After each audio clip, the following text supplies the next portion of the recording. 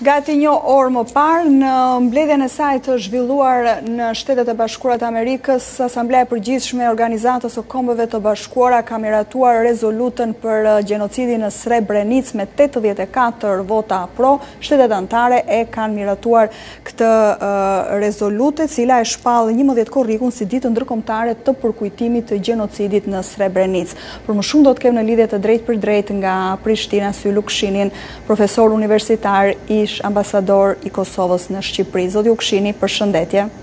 Faleminderit që jeni në A2 CNN. Tashmë rezoluta për gjenocidin në Srebrenicë është miratuar në Asamblenë e Përgjithshme të Kombeve të Bashkuara me tetëdhjetë e katër vota pro. Pse është e rëndësishme miratimi i kësaj rezolute, zoti Ukshini?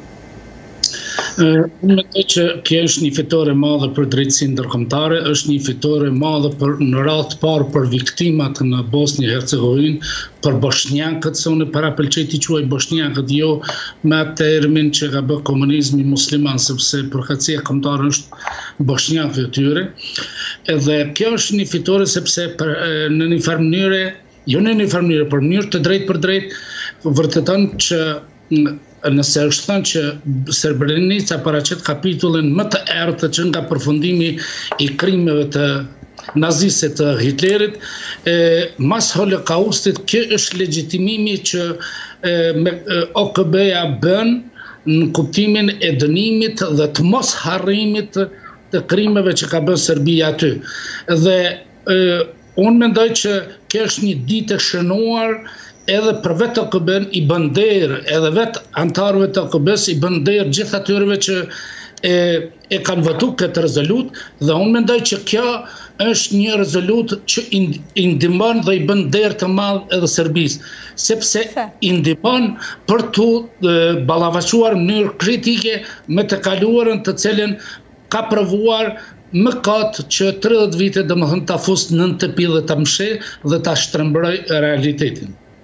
Po, por Serbia sigurisht që nuk e ka pranuar, është një ndër vendet që ka votuar kundër. Kjo mbetet për t'u parë edhe kur të zbardhen se si ka qenë votimi i shteteve anëtare të Asamblesë së Përgjithshme të Kombeve të Bashkuara. Aleksandar Vuçiç lobimin e tij kundër kësaj rezolute nuk e ka fshehur, e ka bërë publike që nuk do ta pranojë dhe po ashtu edhe lideri i entitetit serb të Bosnjë-Hercegovinës, pra të Republikës Srpska Milorad Dodik po ashtu ka qenë kundër saj. Ë, zoti Ukshini, sigurisht është një fitore për drejtësinë ndërkombëtare, po çështja është, pyetja është çfarë do të ndodhë tani, çfarë pasojash do të ketë dhe kryesisht për Bosnjë-Hercegovinën. Jo, unë mendoj që Bruna ato përpjekjet për ta shantazhu bashkësinë ndërkombëtare edhe nga Dodik, edhe nga Vuçiq, unë mendoj që janë e, kështu si të thuash kërcënime në ajër dhe një përpjekje për të ne thë, në Kosovë themi për ta friksu arushën me shosh. Dhe mm -hmm. e, këta nuk mund të bëjnë asgjë, por retorika e tyre tregon diçka. Tregon që Edhe Dodik, edhe Vuçiq po tentojnë të mbrojnë të kaluarën e tyre. Dodik personifikon njërë edhe në kuptimin retorik, edhe në kuptimin ideologjik, dhe narrativa është identike me atë të Karaxhiqit, ndërkaq ajo Miloševiqit e Vuçiqit është e njëjtë me Miloševiqin. Mos harrojmë, vetëm pak ditë pas masakrës së Srebrenicës, Ishte Vuçiq si njëri nga liderët e Partisë Radikale Serbe, e cila luftonte për Serbinë e Madhe, pati deklaruar në parlament, Ju vrisni një serb, ne do të vrasim njëqind boshnjakë ose muslimanë. Domethënë ky po ky po provon ta mbrojë të kaluarën e tij dhe ta maskojë. Unë kam përshtypjen diçka Bruna ka këtu, në këtë mes. Po. Vuçiq e di që një ditë kur të mos jetë president, i frikësohet se drejtësia ndërkombëtare do të trokasë në dyert e tij. Dhe ai e di shumë mirë sepse ka qenë edhe pjesë e në qeverisë së Miloševiqit ka qenë ministër i informacionit. Dhe krejt ato rezerva që i kishim ne Shpeshherë kur vinte edhe shtirej si demokrat midis Tiranës, ne ndiheshim nga pak të fyer, në Tiranë kishte ndoshta nga pak bezdi dhe moskuptim pse i asaj, por ndëgjoni, Vuçiq nuk mund të shpërlajë duart e tij me disa deklarata sepse është këmbë e krye i involvuar në krejt atë politikë të asaj. Por diçka është e mirë. Në këtë lobim që bëri kundër rezolutës, tregoi që Serbia ka met në gjurmët e saj nacional socialiste. Po e them nacional socialiste sepse kështu e kanë emërtu edhe figura më të shquara të letërsisë, politikës në vitin 1999. Ne në ish Jugosllavi Vetëm një gjë nuk kemi përjetuar, vetëm dhomat e gazit. Të gjitha metodat që ka përdor regjimi nazist, Serbia i ka përdor. Por ka pas edhe një lloj amnistia dhe mos harrojmë. Unë mendoj që ka pas njerëz të guximshëm në krye të drejtësisë ndërkombëtare dhe unë mendoj që një figurë që i ka bën nderë dhe që ka kontribu për të zbuluar krimet ka qenë Luiz Arbur e prokurore e Tribunalit të Hagës që vjen nga Kanada. Po. Ndërkaq një emër që duhet të që e turpron edhe shtetin zviceran, edhe tribunalin, pa dyshim është Carla Del Ponte, e cila në vitin 2003, pak din publiku edhe në Kosovë, edhe në Shqipëri, në vitin 2003, ajo ka bën një marrëveshje sekrete me lidershipin e Serbisë, që dokumentet sekrete të Serbisë të mos ipen akces për akces as gjykatës ndërkombëtare të drejtësisë, as palës serb, as palës kroate dhe as boshnjake. Domethënë Carla Del Ponte e cila ulurinte gjëja për drejtësi ka dorë në mshehjen dhe në mbrojtjen e po. Serbisë dhe mos harrojmë në vendimin e GJND-së në vitin 2007 Serbia mbeti e paprekur nga ky verdikt dhe unë mendoj që herët apo vonë do të zbulohet se kreatore e Srebrenicës ka qenë pikërisht edhe lidershipi serb në pjesë e të cilit ka qenë edhe Vuçiq. Prandaj mos harrojmi, sa herë shihnim Vuçiq që vinte në Tiranë dhe bënte atë lojtarin e demokracisë, kjo ishte një si të thua është një shuplakë për ne kosovarët, ishte një shuplakë për gjithë ata shqiptarë të Kosovës, të cilët Për shumë të afërm të tyne, do më thonë, nuk e din edhe sot se ku janë. Prandaj, unë mendoj që shqetësimi i Serbisë, shqetësimi i Vuçiqit ka dhe një hall. Kjo mendoj se pa dyshim që rezoluta e Asamblesë e Përgjithshme të OKB-së do të hapë një kapitull të ri. Do të do të shtojë, domethënë, vetëbesimin edhe të kosovarëve, edhe Kosovës edhe të Kroacisë për t'iu rikthy edhe një herë aktakuzës dhe për ta padit Serbinë për krime dhe gjenocid në Kosovë. Po, zoti Ukshini, ju thatë që kërcënimet e Vuçiçit dhe të Dodik janë kërcënime në ajër dhe argumentuat mendimin tuaj deri më tani. Por, një shqetësim i përsëritur nga ana e Dodik është Shkëputja e Republikës Srpska. Madje sot është thënë se në tridhjetë ditët e ardhshme Qeveria e Republikës Srpska do të krijojë një marrëveshje që do t'i dërgohet entitetit tjetër të Bosnjës, Federatës së Bosnjë-Hercegovinës për ndarje paqësore. Pra, a do të jetë ndarja e Bosnjës, një ndër shkaqet e kësaj që ka ndodhur sot në OKB, edhe pse ky ishte një synim i kahershëm i Milorad Dodik. Por në këtë rast është gjetur sebepi. Ai mund ta përdorë këtë, por nuk duhet të harrojmë që Republika Srpska Është kriju mbi kufomat e Serebrenicës, është kriju mbi gjenocid, është një krijesë gjenocidale. Dhe unë e kam cituar një diplomat të shquar amerikan James Pardew që ka bërë një libër për lidershipin amerikan për ndaljen e krimeve dhe gjenocidit në Ballkan dhe ai thotë tekstualisht në vitin 2005 ishte Holbrooke që u pendua pse lejoi të formohet Republika Srpska. Dhe unë mendoj që Republika Srpska është një çmim që po e paguan bashkësia ndërkombëtare për lëshimet që i bëri vetëm për të arrit paqen në Dayton. Ndoshta ka qenë një si thuash një exit, por nuk duhet të harrojmë në prag të luftës kroatët dhe boshnjakët ishin në ofanzivë dhe Banja Luka ishte para rënies. Dhe James Pardew thotë se sikur të binte Banja Luka nuk do të ekzistonte Republika Srpska. Po pra, po, a u gje tani një arsye për të krijuar trazira në Ballkanin Perëndimor që do të fillojë me ndarjen e Bosnjës?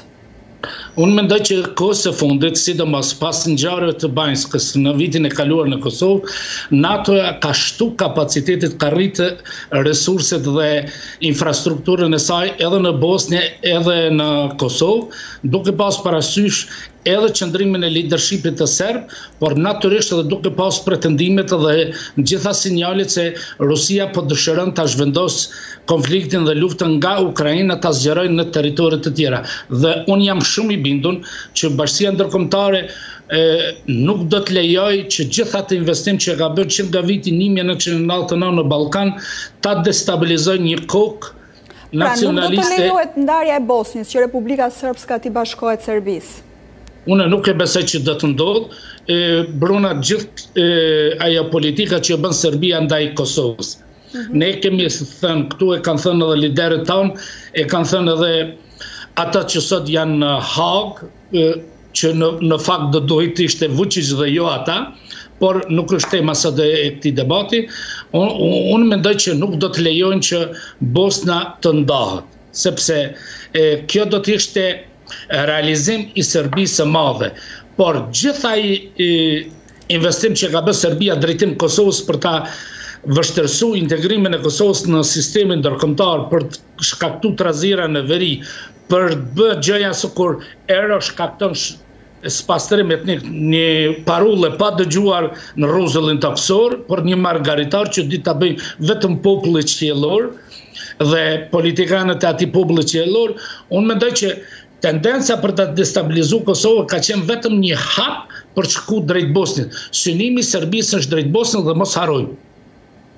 Këta serbë, këta qarqe nacionaliste janë që përmes Bosnjës e kanë ndez disa herë konflikte në Ballkan dhe nuk është fshehtësi nëse e themi që në korrikun e që në qershorin e vitit 1914 ishin pikërisht qarqet nacionaliste në Beograd dhe qarqet ekstremiste në brenda Bosnjës që bënë atentatin ndaj Franz Ferdinandit që u bë shkëndijë e Luftës së Parë Botërore. Po. Por nuk duhet të harrojmë. Nuk jemi në vitin një mijë e nëntëqind e katërmbëdhjetë, nuk jemi as në vitin një mijë e nëntëqind e tridhjetë e shtatë siç e thotë Joshka Fisher, kur Serbisë do t'i tolerohet ajo që iu tolerua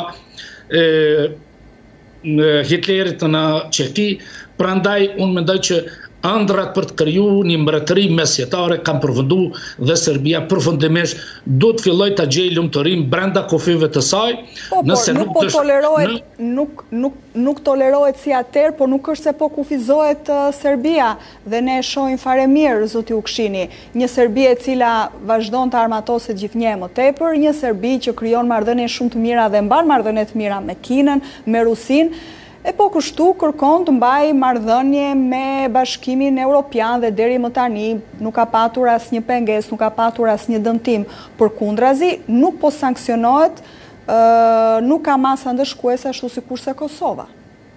Ju më nxorët në temë që s'deshta të hy, faktikisht ashtu është, sepse... Jo, meqenëse më përmendët që nuk është po, Serbia 137, sikurse ka thënë po, Fischer, por po, është një realitet tjetër...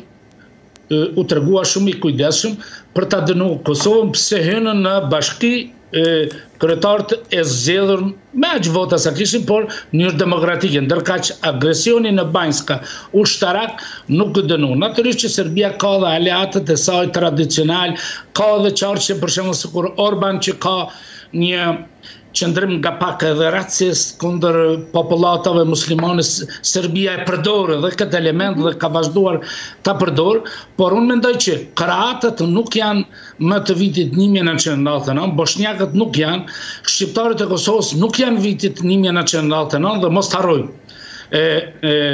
Kapacitetet ndoshta të Kosovës nuk janë ku me di çfarë, por pa dyshim që dallimi është i jashtëzakonshëm dhe Serbia e din këtë, por unë mendoj që Serbia ka dhe një frikë, që herët a vonë do të vijë dita kur Serbia domethënë do të ballafaqohet me gjitha spastrimet etnike që ka bërë dhe shqiptarët nuk do të arrë. Kur do të jetë dita, do t'ju këshini?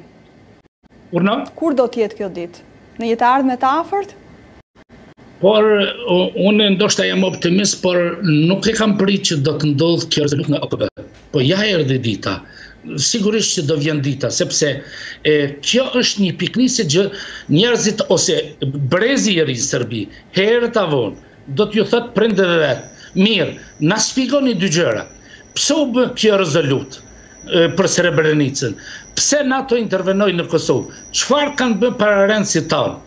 Domethënë, këto pyetje nuk do të jesin gjithherë të pasqaruara dhe herët a vonë Serbia do ta hapë këtë debat. Edhe në Gjermani ka pas rezistencë, por unë mendoj që bashkësia ndërkombëtare ka bë një hap tmerrësisht të gabushëm në vitin një mijë e nëntëqind e nëntëdhjetë e nëntë. Në nëntëdhjetë e nëntën duhej të njihej pavarësia e Kosovës. Menjëherë dhe duhej që Partia Socialiste dhe ushtria serbe të shpalleshin jashtë ligjit dhe të fillonte demilitarizimi i Serbisë dhe sot do të kishim një Ballkan krejt më ndryshe. Ajo çfarë ka ndodh me Gjermaninë është dashtë të ndiqet edhe në rastin e Serbisë. Dhe unë mendoj që shqiptarëve në Kosovë në Luginë është dashtë të jipet një autonomi, e, në Sanxhak, boshnjakëve, po ashtu autonomi, hungarezëve një autonomi, dhe Serbia është dashtë të administrohej nga fuqitë ndërkombëtare, sepse e ka thënë, jo unë, po e ka thënë Ish-presidenti amerikan Wilson në fund të Konferencës së Paqes, Serbët janë një popull turbullues në Ballkan dhe nga luftat ballkanike këndej është treguar që kanë qenë një faktor destabilizues dhe një levë destabilizuese që ka përdorur Rusia gjithherë në Ballkan. Ky është një realitet i pakontestuar dhe është i dokumentuar në të gjitha dokumentet historike. Zoti Ukshini, ju falenderoj shumë për intervistën. Kënaqësi gjithherë. Faleminderit edhe ju.